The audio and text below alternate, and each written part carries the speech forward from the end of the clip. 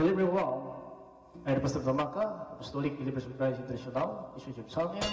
The program like is share, subscribe, and post notification bell for update every day the new videos. Thank you so much. God bless us all. Magandang umaga po sa lahat sa ating mga viewers, listeners dito po sa ating YouTube channel, sa Facebook. Nawing kapayapaan at habag biyan Diyos ay suma sa atin lahat sa ng ating Panginoon Kristo. Ito piling sa Tumaka Apostolic Believers of Christ International.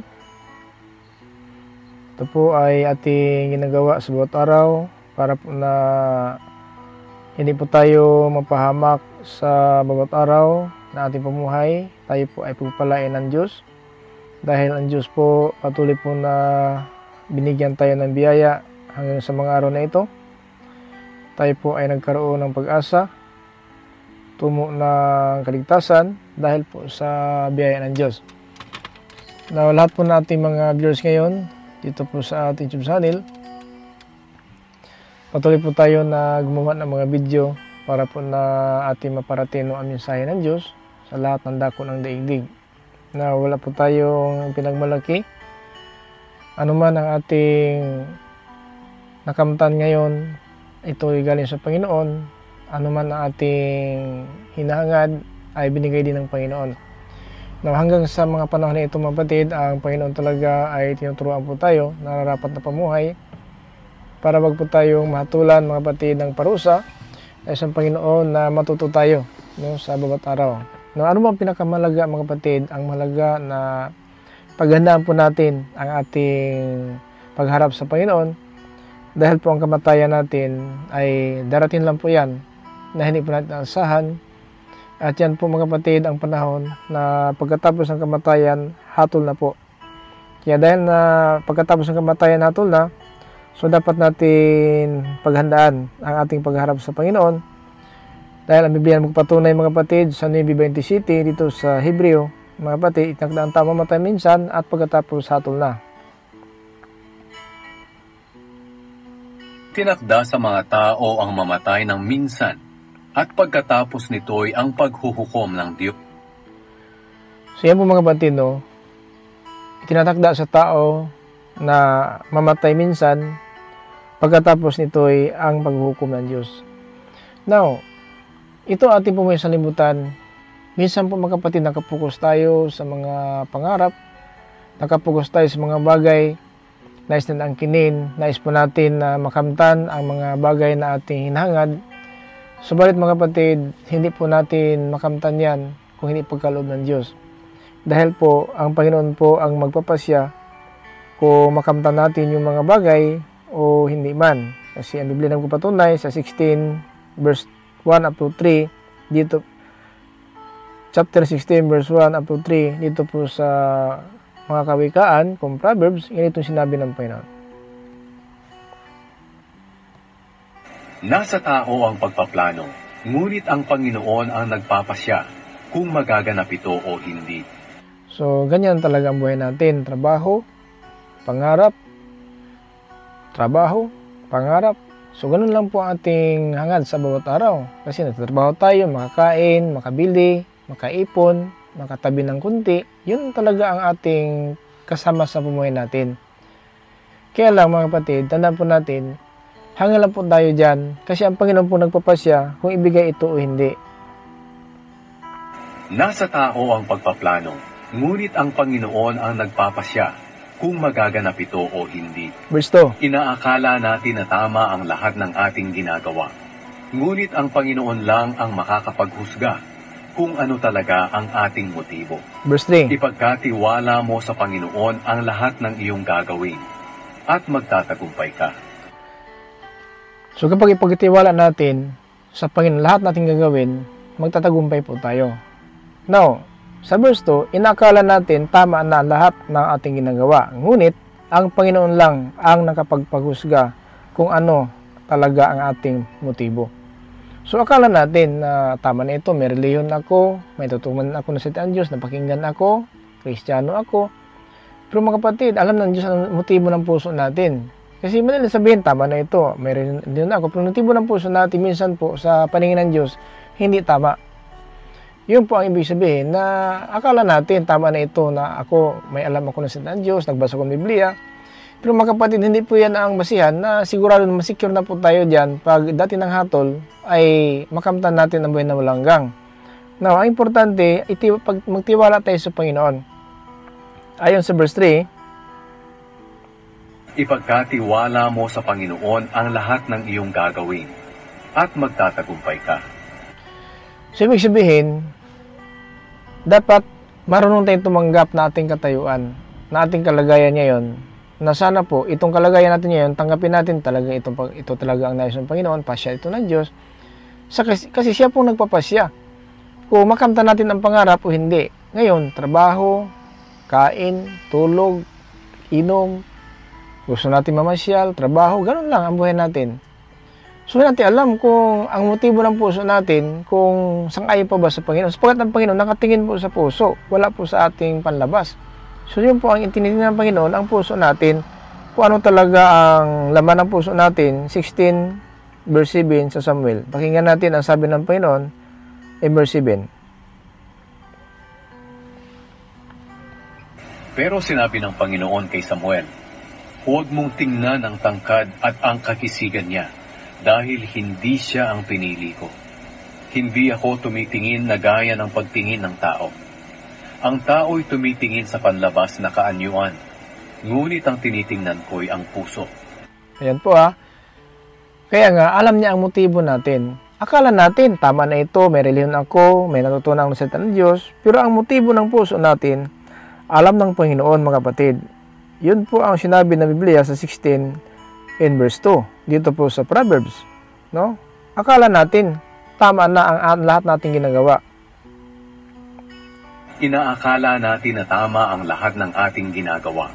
Ngunit ang Panginoon lang ang makakapaghusga kung ano talaga ang ating motibo. Di ba? So, ang Panginoon makapaghusga. Kasi tayo tama na. May pira ako. May trabaho ako. Nagsimba naman ako. Nakinig naman ako sa ng Diyos. Pero ang motibo ng puso natin, minsan po, mali sa paningin ng Diyos. Kasi itong nagsasamba may puso. No? Itong na, na, naghangad may puso. Kasi sa puso natin, dalawa po ang klase. Dalawa ang klase ng puso. Masama at mabuti. Ito ang laman ng puso. Pakinggan natin. Dito po tayo sa Mateo 15.19. Ito ang laman ng puso. Hanggang po sa 20.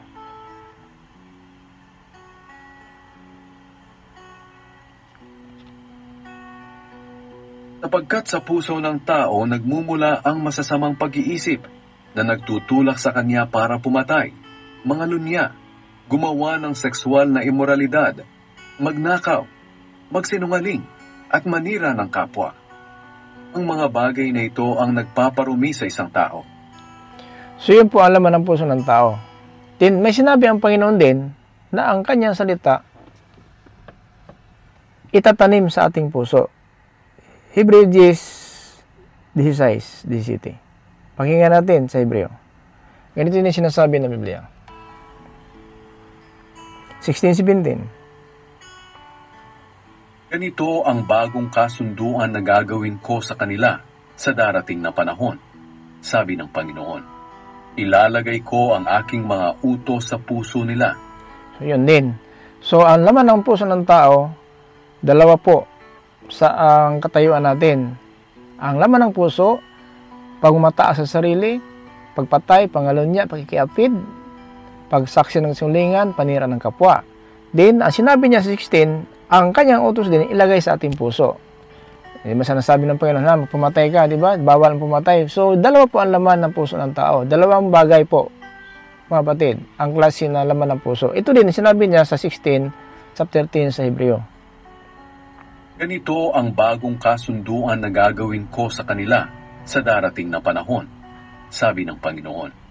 Ilalagay ko ang aking mga utos sa puso nila at itatanim ko ang mga ito sa kanilang isipan. 17. Dagdag pa niya, tuluyan ko ng lilimutin ang mga kasalanan at kasamaan nila.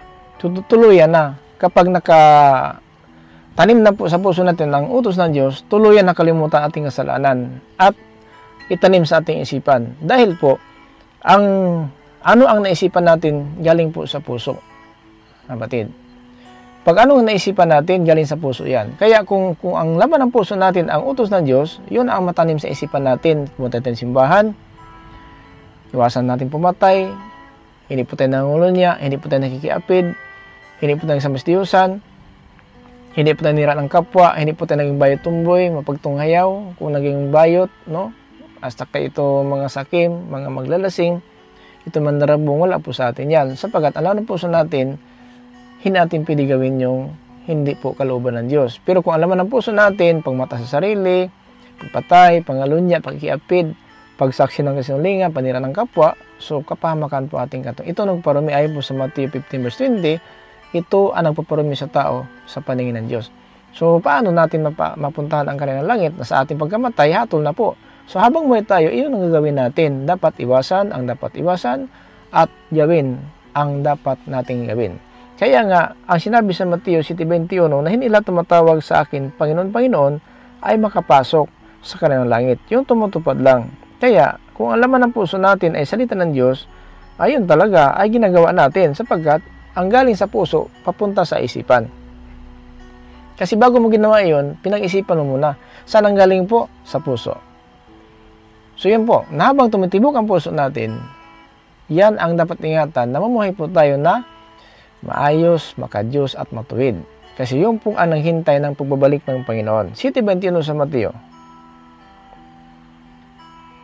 Rami ang tumatawag sa akin ng Panginoon, pero hindi ito nangangahulugan na makakapasok sila sa kaharian ng langit. Ang mga tao lang na sumusunod sa kalooban ng aking amang nasa langit ang mapapabilang sa kanyang kaharian. Amen. Kasi ito ng mata sa sarili, tumawag din sa Panginoon ito. Huwag mo sabihin na itong ng mata sa sarili, wala po silang Panginoon. Meron din, tumatawag pa rin. Ito nangalon niya. Hindi ba tumatawag ito sa Panginoon? Tumatawag din kahit nangalon niya. Kiapid, pumatay, nagsimasdiyusan, mga bayat mga tumboy, pagtunghayaw, naglalasin, maging sakim at magdarambong, tumawag pa rin ito sa Panginoon. Pero wala po, hindi po yan ang siya na tumawag na may kasiguruan. Ang tumupad lang po. Ang tumupad po ng mga utos ng Diyos. Yan mga kapatid ang pinakamalaga na harapin natin ng hatol kung ano ang ating tinatanim, yan ang ating anihin. Sa City, dito sa Galacia. Pakinggan natin na, ng ano ang ating tinatanim, yan po ang ating anihin. Huwag ninyong linlangin ang inyong sarili. Ang Diyos ay hindi madadaya ni numan. Kung ano ang itinanim ng tao, iyon din ang kanyang aanihin. Huwag niyo nilangin ang iyong sarili ang Diyos hindi madadaya ni naman.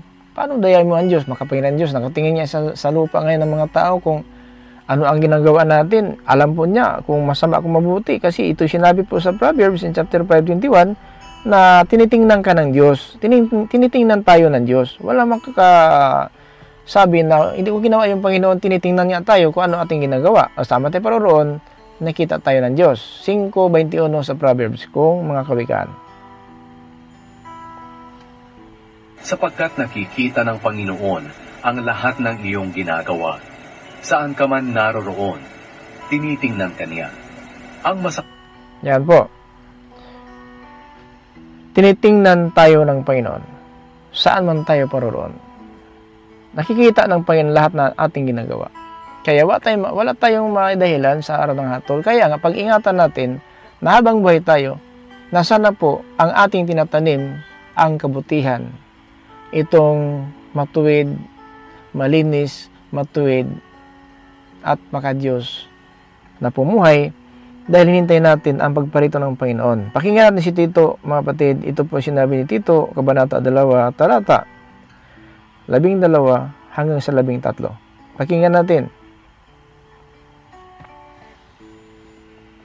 Ito ang nagtuturo sa atin na talikuran ng kasamaan at makamundong pagnanasa kaya mamuhay tayo sa mundong ito ng maayos, matuwid at makadiyos.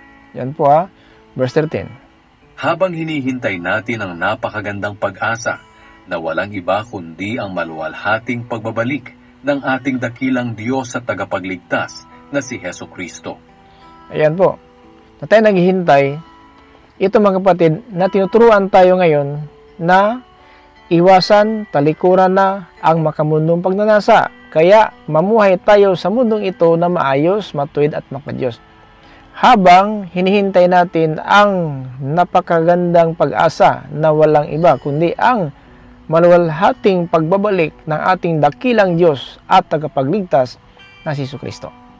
So yan po mga kapatid ang ating gawin. Huwag tayong kumpiyansa. Ang kamatayan nga, hindi, ma, hindi malaman ng kamatayan, nakatulog, nakahiga na tao, nakagising. Pag alis sa bahay, nakabalik. Ganun ang buhay natin. Wala po tayong pagkaiba ng hayop, mga kapatid. Ang ating buhay, walang pagkaiba ng hayop. Hindi tayo marangal pa sa hayop ang buhay natin. Tulad tayo ng hayop, kung paano namatay, ganun din tayo. 3.19 dito sa mga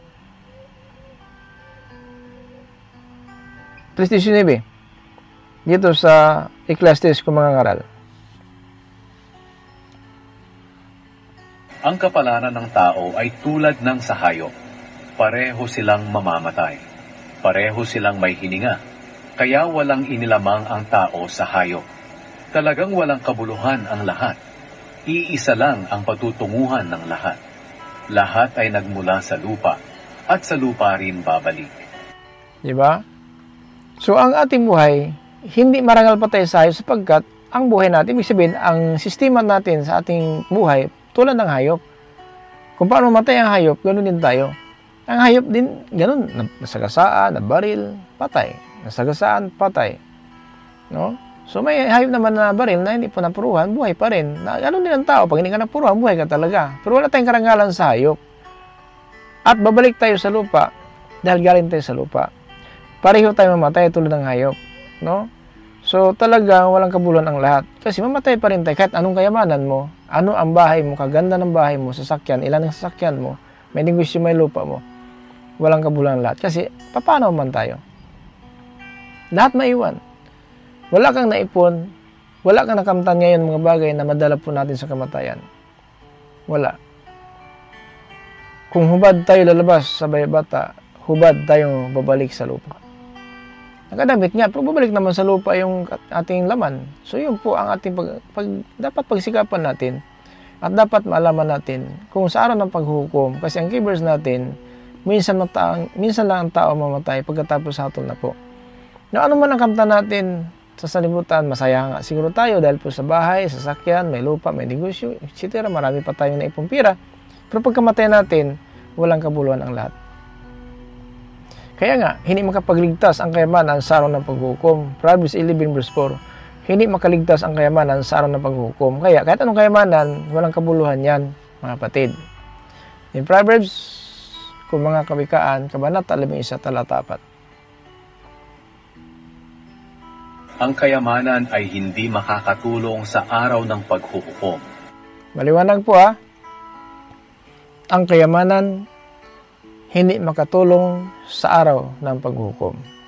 Kaya, ano man ang nakamtan, mga kapatid, huwag mo na yung pahalagaan. Pahalagaan natin ang salita ng Diyos, makinig tayo ng salita ng Diyos, tinuturuan tayo ng Diyos para maiwasan natin ang lugar na hindi natin inasahan na yun po ang tinatawag na impyerno kung tinatawag lake o fire kung dagat-dagatan na po. Yun po ang kantungan ng mga tao na hindi po sumunod ng salita ng Diyos.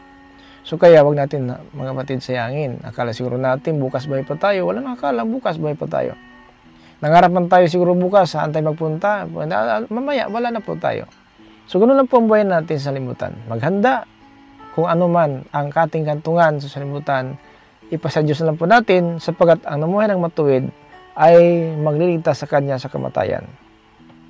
Ngunit ang matuwid na pamumuhay ay magliligtas sa iyo sa kamatayan. So, ang impyerno po, yun po tinatawag na second death. No? Pangalawang kamatayan ang impyerno. Yun ang maiwasan natin kung mamuhay tayo ng matuwid. Kaya nga si, Timo, si Tito, nag-iwan po ng kanyang aral na habang hindi tayo sa pagparito ng Panginoon, mamuhay tayo ng maayos, makadiyos, matuwid at makadiyos. Dito po, ang matuwid na pagbuhay, nagliligtas sa atin sa kamatayan. Now, itong pangalawang kamatayan, impyerno mga kapatid, ito po sinabi ng Biblia dito sa pahayag in chapter 21 in verse 8. Ito mga kapatid ha, ito po pangalawang kamatayan, ang lawang apoy, asupre.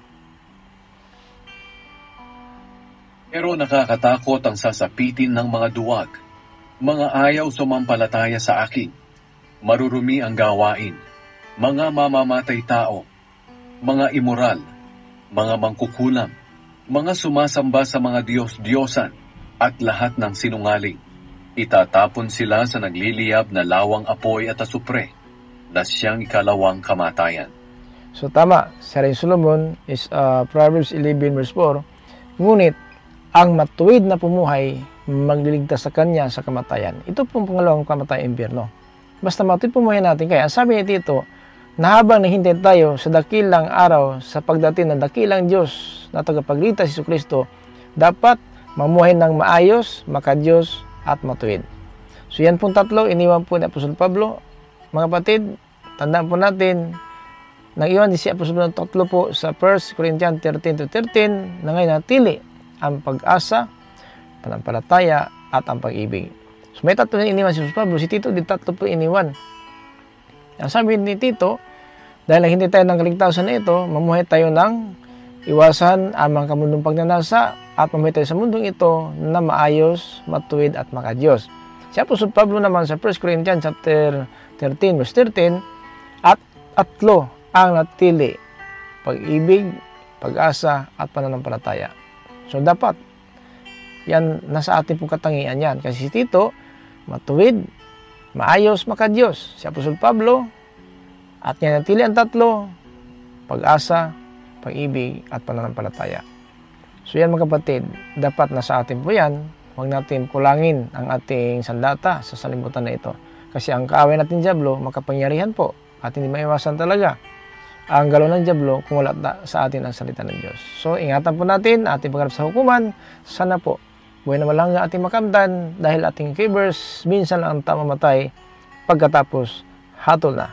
Ay mga kapatid sa Nubi 20 City dito po sa Hebreo. Pagkatapos hatol na. Kaya yan po ang dapat pagsikapan, itakda tayong mamatay minsan lamang. Tinakda sa mga tao ang mamatay ng minsan at pagkatapos nito'y ang paghuhukom ng Diyos. Yan po ha, minsan pagkatapos ang paghukom ng Diyos. Ay mga kapatid, ingat lang po tayo. Huwag tayong kumpiyansa. Mamatandaan po natin ang ating buhay sa salibutan parang usok lamang. Ito'y biglang nakikita at kagad nawala.